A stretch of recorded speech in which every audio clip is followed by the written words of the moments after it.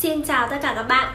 Các bạn thân mến, hôm nay chúng ta sẽ cùng đến với chuyên mục giải đáp thắc mắc. Cho các bạn trong thời gian qua đã nhắn tin cho mình nhé Bây giờ chúng ta sẽ cùng đến với câu chuyện ngày hôm nay.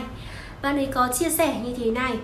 Em chào chị ạ, à. em mong chị có thể giúp em và em mong nhận được lời khuyên từ chị ạ. À. Em và bạn trai chia tay đã được hơn 3 tháng. Lý do là anh ấy quá mệt mỏi Và em luôn đem lại cho anh ấy cảm giác tiêu cực. Lúc chia tay em đã năn nỉ anh ấy rất nhiều. Và em đã may mắn xem được video 5 bước để quay lại với người yêu cũ Và đã làm như vậy. Khoảng nửa tháng anh có nhắn tin cho em. Em cũng chỉ trả lời và nói chuyện như những người bạn.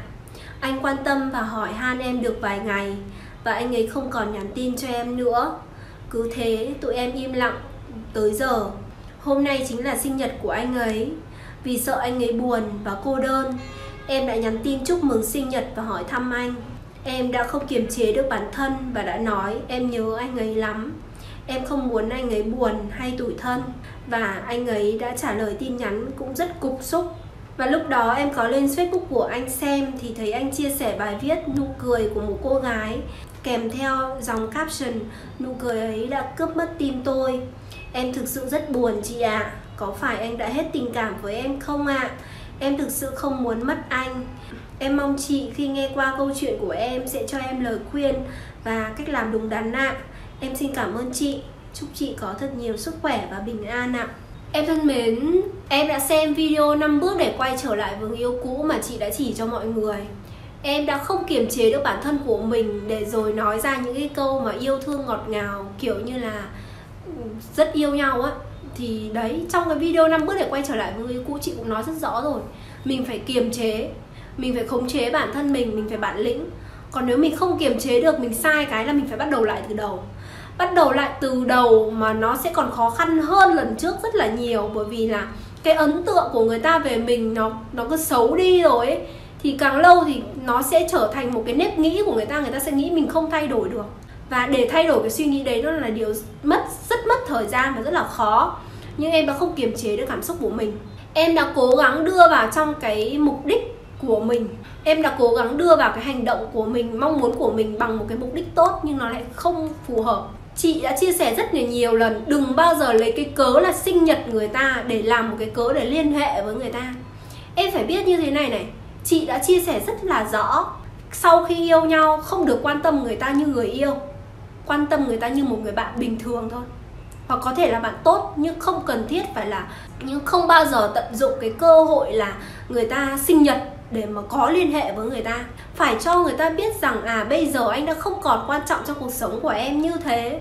À là anh có thể là bạn với em nhưng anh không bao giờ còn được đối xử như cái cách mà một người yêu đối xử với anh nữa. Đấy chính là cái cách mà khiến cho người đó khao khát là à, người ta nhìn thấy cái sự khác biệt đấy người ta nhìn thấy cái sự mất mát đấy và người ta thúc đẩy người ta quay lại, nhưng mà em lại đi làm ngược lại. Và kết quả thì không ngoài dự đoán là nó sẽ làm em thất vọng và còn đau khổ hơn nữa. Tại vì mình thỏa mãn cái mong muốn nhất thời của bản thân mà không hề quan tâm đến cái suy nghĩ và cảm xúc của người khác. Đó. Em nói rằng vì không muốn anh cảm thấy cô đơn và tủi thân. Em nghĩ rằng không có cái tin nhắn chúc mừng sinh nhật của em thì người ta sẽ cô đơn và tủi thân á. Không đấy là một cái sự bao biện của em. Bao biện vì em thèm khát người ta quá, em muốn người ta quá. Nên em lại nhắn tin như thế, chứ không phải là em vì người ta mà em nhắn cái tin đó. Em nhắn cái tin chúc mừng sinh nhật hoàn toàn vì mục đích của em.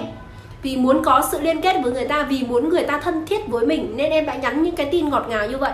Hy vọng người ta sẽ ngọt lại với mình, nhưng người ta không ngọt với mình. Em biết chưa? Mình gieo đi một cái hạt nào mình sẽ nhận lại về cái hạt đấy theo cấp số nhân em gieo đi một cái hạt ích kỷ chỉ biết nghĩ đến mình, chỉ muốn mình được yêu thương mà không kiểm chế được cảm xúc của bản thân. Cho nên em nhận lại một cái thành quả, đấy là em sẽ đau khổ theo cấp số nhân so với những cái điều mà mình trao đi. Mình trao đi là cái sự ích kỷ chỉ biết nghĩ đến mình. Đấy chính là lý do mà người đàn ông này trả lời em một cái tin rất ngọt ngào bằng những cái tin rất cục xúc như vậy. Nói chung ở đây ban đầu em đã có những cái biểu hiện rất tốt rồi. Bằng chứng là anh ta đã chủ động liên hệ với em đúng không? Nhưng sau đó thì em lại tiếp tục rơi vào cái trạng thái là bị lạnh nhạt, bị cô đơn. Và thế là em không có đủ kiên trì, em không có đủ kiên nhẫn để có thể kiên trì đến cùng là một cô gái cuốn hút và hấp dẫn. Và vì thế mà đưa đến cái kết quả ngày hôm nay. Trong cái video 5 bước để trở lại với người cũ, chị nói rất rõ rồi, mình phải kiên trì, mình phải bản lĩnh. Và cái kiên trì của mình phải rất lớn nhưng mà em đã không có đủ kiên trì để làm điều đó. Thì bây giờ nếu muốn quay lại thì lại làm lại từ bước đầu thôi. Nhưng mà làm lại nó sẽ khó hơn lần trước. Bởi vì cái ấn tượng của mình dành cho người ta là đã không còn tốt đẹp như xưa nữa rồi. Cái thứ nữa đấy là khi người ta đăng lên facebook, người ta đưa một dòng caption là nụ cười ấy đã chiếm mất trái tim của người ta, thì đáng nhẽ bây giờ mình là một cô gái có lòng tự trọng thì mình phải rút lui đi chứ đúng không? Bây giờ mình còn đâm đầu, mình còn xông vào nữa thì mình mất mặt quá. Đúng không? Mình có, dù mình yêu đến mấy, mình cũng phải có cái lòng tự trọng của một người phụ nữ. Chứ không phải là mình vào đấy mình nhìn xong rồi đúng là chị thấy là đúng đúng là em sẽ đau khổ. Đúng là em sẽ buồn khi nhìn thấy những cái dòng caption đấy. Nhưng mà thôi, bây giờ chia tay rồi thì người ta hoàn toàn có cái quyền để người ta bắt đầu một cuộc sống mới thôi. Và trong cái video của chị thì chị cũng chia sẻ rất rõ rồi, cái giới hạn để mình còn tiếp tục tình cảm với một người đàn ông là khi người ta chưa có bất kỳ một ai khác và chưa có tình cảm với bất kỳ một ai khác. Còn nếu có tình cảm với người khác rồi thì em phải dừng lại. Còn nếu em vẫn tiếp tục thì em sẽ đau khổ thôi, bởi vì nói thật với em trên đời này, đàn ông tốt hơn cái bạn đấy con rất nhiều. Tốt hơn, tuyệt hơn, tài năng hơn, giàu có hơn, đẹp trai hơn nhiều lắm. Vấn đề quan trọng mình phải bồi dưỡng bản thân để trở thành một người xứng đáng với một người đàn ông tốt như vậy thôi. Chứ còn bây giờ chạm đến giới hạn thì mình phải dừng lại. Trong khi em, chị không biết là em nhắn một cái tin chúc mừng sinh nhật kiểu gì mà người ta phải nhắn lại bằng một cái tin rất cục xúc. Chắc là mình phải làm cái gì đấy thì người ta mới nhắn như vậy. Chứ không bình thường thì không ai người ta um, cục xúc như vậy cả đúng không? Với cả em nhắn một cái tin rõ ràng là mang theo cái mục đích cá nhân của mình mình mình nhớ người ta quá mình thèm khát người ta quá mình muốn nhắn tin cho người ta để có sự kết nối. Mình lại nói như là mình cao thượng lắm mình lại nói là à tại vì em nhắn tin vì không muốn anh cô đơn em nhớ anh nhiều lắm đấy nhé. Thì thực ra ấy, thực ra cái câu nói như vậy nó rất là kém cuốn hút em ạ. Một người đàn ông người ta không có thiện cảm với những câu nói như vậy. Rồi là anh ấy nghĩ ôi cô ấy nghĩ mình là ai? Đúng không? Anh ta cũng đâu cần phải có cái sự quan tâm và cái sự uh, chiếu cố đấy của em đâu người ta đâu có cần đâu. Và tự dưng em chụp cho người ta úp cho người ta một cái mũ và nói và gắn một cái mác là à người ta đang cần em lắm. Thì không phải là người thế người ta không tức giận không? Đúng không? Cho nên đấy nó là cái điều mà mình cần phải rút kinh nghiệm em ạ. Nói chung là ai trong cuộc sống thì cũng có những sai lầm bản thân chị cũng thế chị chỉ ra như vậy cho em để em hiểu được bản chất vấn đề thôi. Chứ còn ví dụ như chị thì hồi trẻ chị cũng còn có nhiều những cái lỗi sai như thế, thậm chí sai hơn nên vấn đề là không phải là chúng ta trách móc bản thân mình, mà chúng ta thông cảm cho những cái lỗi lầm trong quá khứ, chúng ta nắm tay mình của quá khứ để bước đi, nhá. Hãy làm theo những nguyên tắc của chị thì em sẽ có hạnh phúc với một người đàn ông rất tuyệt. Và sau này khi có một người đàn ông tuyệt hơn đến bên cuộc sống của em ấy em sẽ quay lại và nghĩ rằng, ôi, sao lúc đấy mình ngốc thế? Tại sao mình lại vì một người đàn ông như vậy mà mình lại thảm hại đến như vậy? Trong khi bây giờ mình có một người đàn ông tuyệt hơn rất nhiều.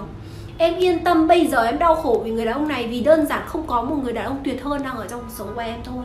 Cho nên là vấn đề bây giờ mình phải giang tay, giang rộng vòng tay để đón chờ một người tốt hơn. Bằng cái việc là chính bản thân mình cũng phải thay đổi nhá. Xem thêm những cái video của chị trong tình yêu, cô gái như thế nào cuốn hút, cô gái như thế nào khiến người đàn ông khao khát, cô gái như thế nào khiến người đàn ông phải theo đuổi một đời. Vân vân và vân vân. Rất nhiều cái kiến thức trong tình yêu mà chị làm rất nhiều cái video đấy hãy xem thật nhiều để nó thấm vào trong con người em. Và dần dần nó trở thành một phần trong con người của mình rồi. Nó sẽ trở thành cái bản lĩnh của em và em sẽ đi đến đâu em cũng trở thành một cô gái bản lĩnh người người mà người đàn ông phải khao khát nhá. Hôm nay chương trình của chúng ta sẽ tạm thời kết thúc tại đây xin chào và hẹn gặp lại các bạn.